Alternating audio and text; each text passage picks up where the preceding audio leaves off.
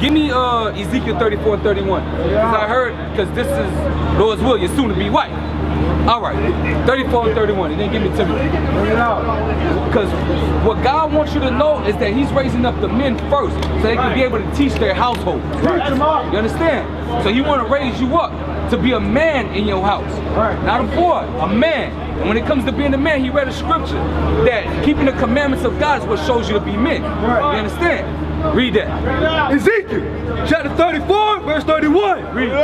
And ye my flock, the flock of my pasture are me. Uh, who? Are me. That's who he's gonna use to teach the 12 tribes of Israel who they are. The men, alright? Give me First Timothy chapter 3 and verse 7. This is what he requires of the men. Right. Read that. First Timothy chapter 3 and verse 1. Uh-huh. This is a true saying. Uh-huh. If a man desire the office of a bishop, The word bishop just translates to a leader. right. Read. he desireth a good work. It's a good thing to want to be a leader of your household. It's a good thing to want to be a leader of your community. That's right. Read. A bishop then must be blameless. You shouldn't be smoking weed. You shouldn't be uh looking for licks. Right. You should be marrying your women. Read, getting tattoos. Read. The husband of one wife. Shouldn't be married to three different women. It says a, a husband of one wife. Read. Vigilant, Uh huh. sober, Uh huh. of good So you shouldn't be smoking weed. Nobody should be popping mollies, Right. smoking crack. None of that. Read. Right. Given to hospitality. Uh huh. Apt to teach. Wanted to teach their brothers and sisters. Read on. Not give it to wine. You shouldn't be getting drunk. You can drink wine in moderation. You can drink. You can drink a little henny. Just don't drink over too much. Read. No striker. Uh, shouldn't be fighting, shouldn't be wanting to brawl. Like we seen the brothers were about to do coming out the corner store. Right Now, rebuke the neighbor, correct me. Hey, bro, I don't want you doing that. You're gonna have to leave the store. I don't Right. have to fight you. I can just talk to you. Right. Read. Not greedy of filthy lucre. We shouldn't be trying to hustle one another. Right. We owe something costs 30 bucks, and I'm gonna put a I'm gonna put a price on that thing, ten dollars to make my money on the side. Nah. Read on. But patience. Uh huh. Not a brawler. Uh huh. Not covetous. Uh huh. One that ruleth well his own house. That's what I want to get to. Someone who rule his house well. Right. This is gonna be your wife. Give me First John chapter 5, verse 3. Bring it out. Bring it out. You love God. All praises. So when you loving your God, he commands you to rule your house well. Right. What he commands of our women, the soldier brought it up, that a woman should be wearing what? Exactly. So right. in your house, the woman gonna be wearing what? That's That's right. Read that. Read that. First John, chapter 5, verse 2. chapter 5, verse 3. Uh-huh. For this is the love of God, Uh-huh. that we keep his commandments. So if you love God, what you gonna do with your soon-to-be wife? What you gonna have on? Because you're gonna rule your household well. That's you right. understand that? Now, give me a back, go back to uh, Timothy and read that part again. In you ruling your household, there's things that you have to, there's things that you can eat and things that you cannot eat. So there's things when she shops that she shouldn't be bringing in the house. Right. So read that part again. One that ruleth well his own house. So you have to rule your own house well. And ruling it well is keeping the God's commandments. All right. So now give me uh, Leviticus chapter 11 and verse 7. This is another commandment for your household. Uh, you have any children besides the one you're about to have? All praises, all praises. So, and you're gonna have to teach them, but you first have to teach your wife as well. And I'm gonna give a commandment for her so she can understand where she lies. Um, uh, see if she's above you or below you according to the word of God. Right. All right? Because America taught you 50-50. Right. That's not what God teaches. Right. Yeah, Leviticus 11 verse 7. What he it can bring in the house. Leviticus chapter 11, verse 7. Uh-huh. And the swine, though he divided the hoof, Because majority of the time it's the woman doing all the shopping for the food and things like that. So it says the swine. You know what a swine is? Bacon. Bacon. You know what the swine is? What's another word for swine? Pig. The pig. right. So the pork, anything that has to do with pork, God says what? though he divide the hoof Uh-huh. and be cloven footed, yet he cheweth not the cud. Uh-huh. He is unclean to you. God says don't eat the bacon. Right. Don't eat the pork. Right, don't eat right. the uh, baconator that Wendy's got. Right. God says don't eat that. Do not eat the pork. Um, give me the fish and the scales. The fins and the scales. Verse 10. And this is also in the waters because a lot of Judahites, so-called African American, love to eat crab, shrimp, lobsters. And majority of the time, the woman, oh, take me to red lobster. Bring it out. Nah, this is what God requires from you about the fishes in the water. Everything that's in the water. Read. Verse 10. Uh-huh. And all that have not fins and scales. So anything that don't have fins and scales. Do shark have fins and scales?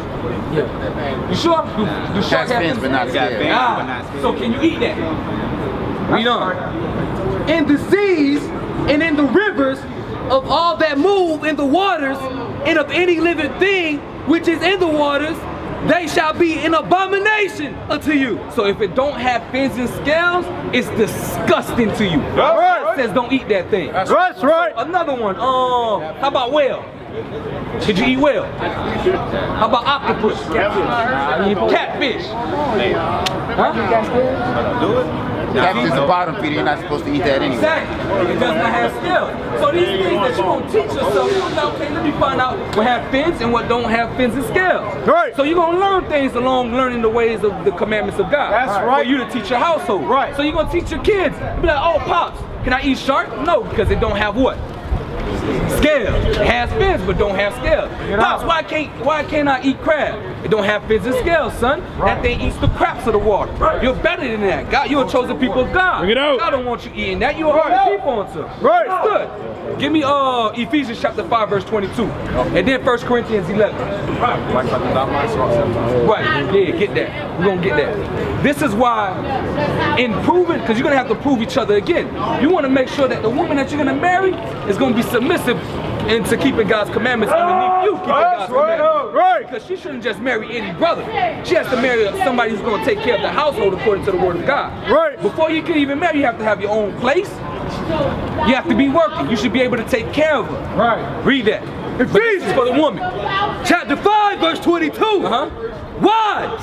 Well, hold up. Girlfriends. Wives. Uh-huh. Submit yourselves unto your own husband. Read. As unto the Lord. The only way she could submit underneath you, you have to be submitted underneath the Lord. That's right. And you have to be applying his commandments. Right. Because how, how can she follow you when you yourself don't even know how to lead? Right. Because you'll lose your job and you'll be like, man, look, man, I, I try to look for the next one. Nah, we can't do that as men. I lose my job, I gotta go find the next one. Right. Because if a man don't know how to take care of his own household, how can he take care of the, ch the church of God? Right. How can he teach his brother how to be men? Right. And his son. Read that again. Wives, submit yourselves unto your own husband. So you have a job to do as a man of Israel. Finish that? As unto the Lord. Now go to 1 Corinthians chapter 11. We're going to see if they equal with us. Bring because, sis, if somebody breaks into the house, right? Bring it out. Would you pop up and be like, oh, who the hell is this trying to break into my house? Or you going to look at your husband and be like, gotta go check on that. Let me know. Where the You're not at? equal. Where the woman at? Oh, yeah, Where the the woman's woman? in the Where's the Bible. woman? Woman's in the Bible. You are here. I, I, I, I, I, As a woman. Right. First Corinthians, Huh? chapter 11, verse 3. Bring it up. But I will have you know that the head of every man is Christ, Uh-huh. and the head of the woman is the man. You understand that? So the head of Christ is God, the head of the man is Christ, the head of the woman is who? The man is you. You're the head over your soon-to-be wife, Lord's will. Right. But, finish that off. Mm-hmm. And the head of Christ is God. So you got God, Christ, man, and woman. There's no equality with the man and the woman. There's no 50-50. Right. In Sirach chapter 7, verse 26. Sirach chapter 7, verse 26. So in you making sure that this this is the woman you want to marry, she has to have the same mindset as you. Right. Read that. It out. Sirach, the book of Ecclesiasticus, chapter 7 and verse 26. Bring it out. Hast thou a wife after thy mind? It says, do you have a wife after your mind? Because you're gonna say, look, we can't eat pork, we can't eat crab, we can't eat lobster, we can't eat shrimp. She's gonna say, well, I like that stuff. I wanna eat. Is that a woman you should have by your side? Why not? She rebelled. She Right? Yeah, she rebellious. She ain't gonna listen to you. That's right. Because you hey, uh, before I get home, look, I'm bringing some of the brothers over. Could you cook? She gonna be rebellious and say, nah, I don't want to. like, nah. That's why the scriptures say the woman should be submissive unto her own husband as long as he's submissive underneath the Lord. Right, right. Because he, she should want to do that. Should he? You take you taking care of the bills, you taking care of the kids, you taking care of the whole household. All you're asking is when I get home from work, is to have the food ready. That's all. Take care of the household. So you understand? That's the that's the role of the men. Give me um, give me Sirach chapter 25 and verse 1. Since you got a question, come close. What can you find, like what you just said, what can a sister find a man that like that though? Every We just man. We just read it. Read it. Go back to Sirach chapter 7, verse 26. We just read it. Because he has to be like-minded unto who? You got What, what what? type of man you want? I want me a man to be a husband to me to take care of the family and not do what I'm supposed to do. So You want a man that's keeping God's commandments. Right. right, right. You want an Israelite man because the commandments were given to who, sister? To, to the righteous man, And what's the righteous man? Who's the a righteous man and that's, woman? uh, that's doing the word of God.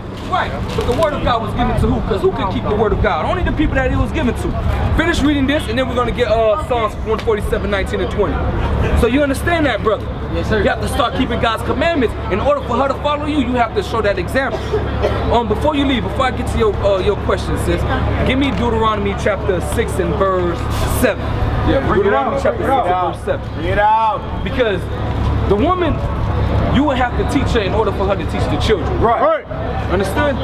Because we have we have a sound mind when it comes to keeping God's commandments. We know this is what you must do, this is what you must don't. Just like you see how the sisters would say, well, I like wearing pants.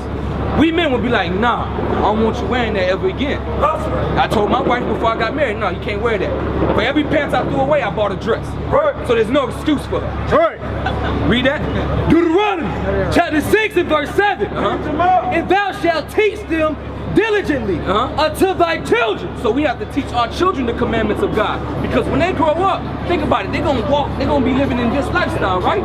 What you think is gonna be pushed amongst them in their community? What's pushed amongst those kids?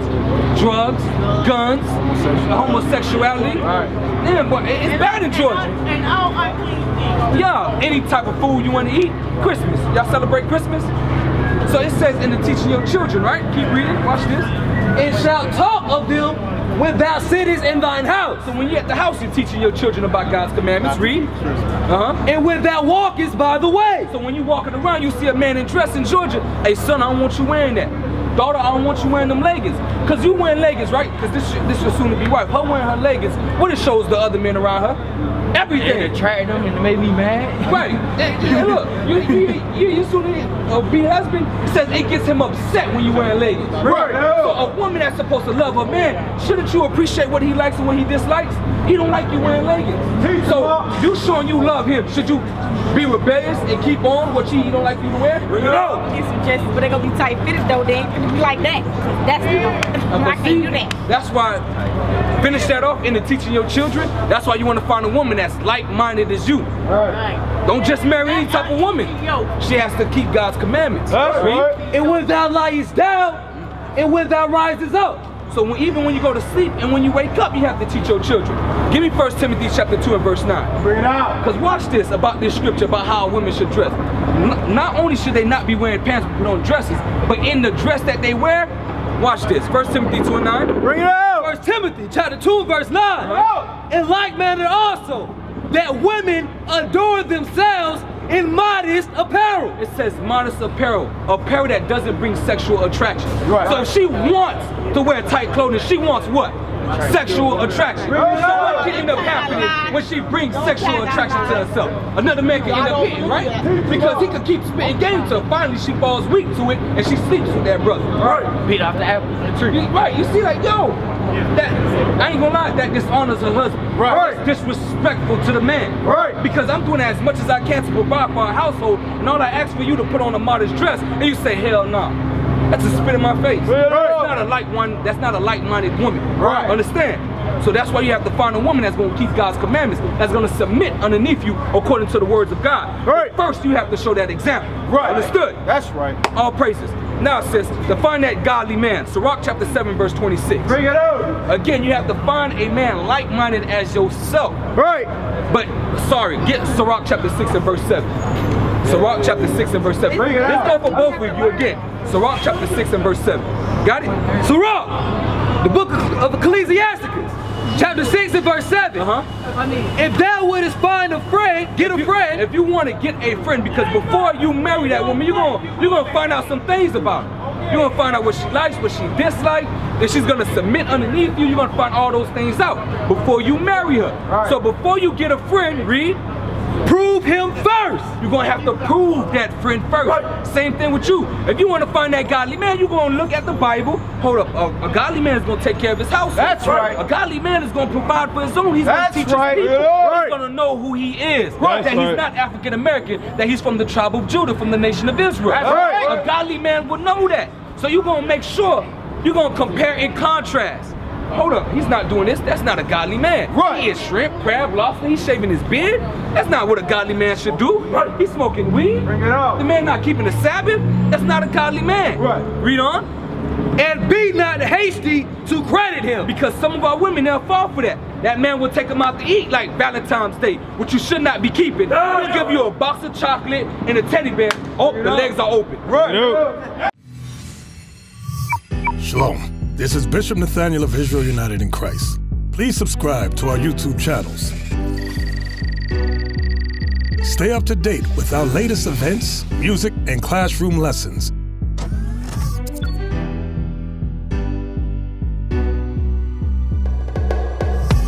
IUIC plans to continue visiting different countries where this gospel has not been preached before. IUIC needs your help in pushing this truth.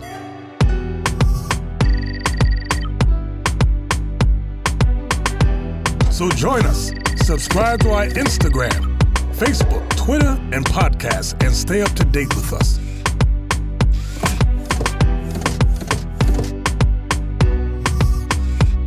For more information, please visit www.israelunite.org.